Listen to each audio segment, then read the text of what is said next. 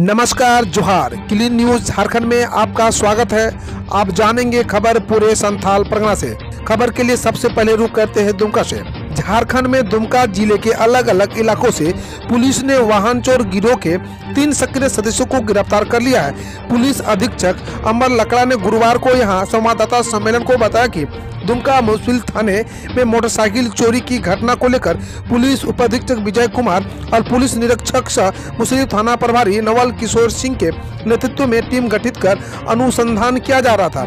इसी क्रम में मिले साक्ष्यों के आधार पर पुलिस टीम ने दुमका मुफसिल थाना क्षेत्र के दुमुहानी गाँव में छापेमारी कर वाइक चोर गिरोह के सरगना जुनेद उर्फ़ जीतू अंसारी, सित पहाड़ी गाँव के रहीम अंसारी और काठीकुंड थाना क्षेत्र के विदिया पहाड़ी गाँव में चिराजुल अंसारी को गिरफ़्तार कर लिया।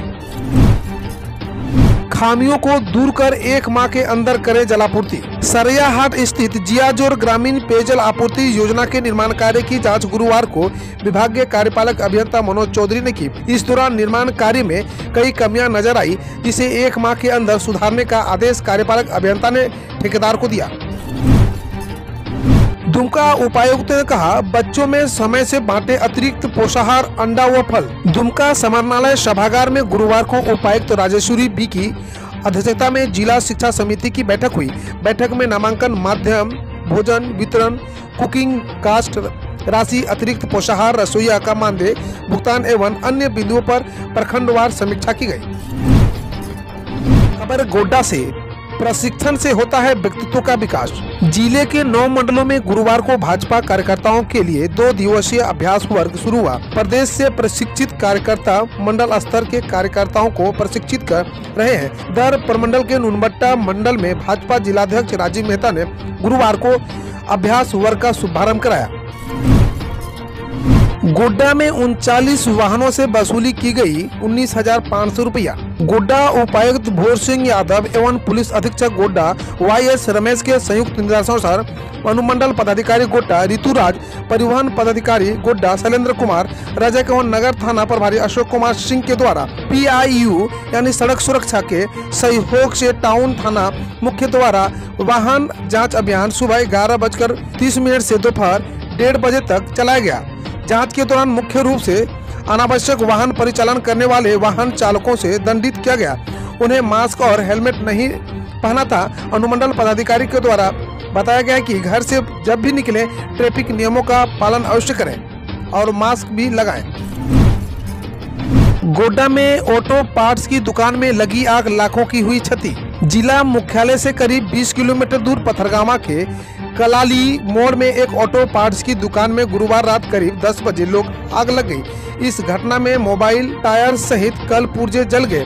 दुकानदार ने लाखों की क्षति की आशंका जताई है। स्थानीय लोगों के सहयोग से आग पर काबू पा लिया गया। रात साढ़े दस बजे के करीब सूचना पाकर गोड्डा से अग्निशामक दस्ता पहुँचा। शिक्षकों से गुलजार हुआ उच्च विद्यालय। माध्यमिक निदेशालय से जारी निर्देश पर असर गुरुवार को स्कूलों में देखने को मिला। ज़िले के उत्क्रमित उच्च विद्यालय राजकीय उच्च विद्यालय तथा प्लस टू विद्यालयों में नौ माह बाद शत प्रतिशत शिक्षकों की उपस्थिति सुनिश्चित हुई। शत प्रतिशत शिक्षकों की उपस्थिति सुनिश्चित होने से गुरुवार को सुबह से शाम तक स्कूल में शिक्षकों की चहलकदमी दिखी। पुरानी पेंशन प्रणाली लागू करने की ज़रूरत। पेंशनर दिवस के उपलक्ष्य पर गुरुवार को गांधी मैदान स्थित क्लब भवन में झारखंड राज्य पेंशनर समाज जिला इकाई ने एक समारोह का आयोजन कर पेंशनर दिवस के महत्व पर प्रकाश डाला। पेंशनर समाज के जिला सचिव चंदी दास पुरी ने सदस्यों को पेंशनर दिवस की बधाई देते हुए पूरे ज़िले के सभी पेंशन की दीर्घायु एवं स्वास्थ्य जीवन की कामना की। प्रसव के पूर्व चार बार कराएँ स्वास्थ्य की जाँच। संक्रमण से होने वाली बीमारियों से बचाव को लेकर समाज कल्याण और स्वास्थ्य विभाग के संयुक्त प्रयास से ज़िले के 118 आंगनबाड़ी केंद्रों में मासिक टीकाकरण शिविर का आयोजन किया गया।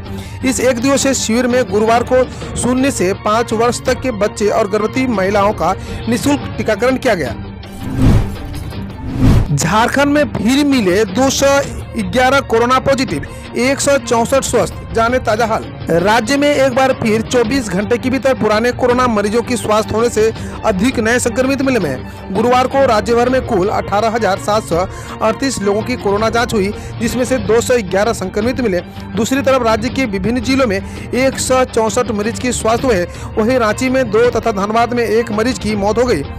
नए संक्रमित की अधिक पहचान होने से कम पुराने मरीजों के स्वास्थ्य होने के बाद राज्य में कोरोना सक्रिय मामले में एक बार फिर बढ़कर सोलह सौ हो गए हैं।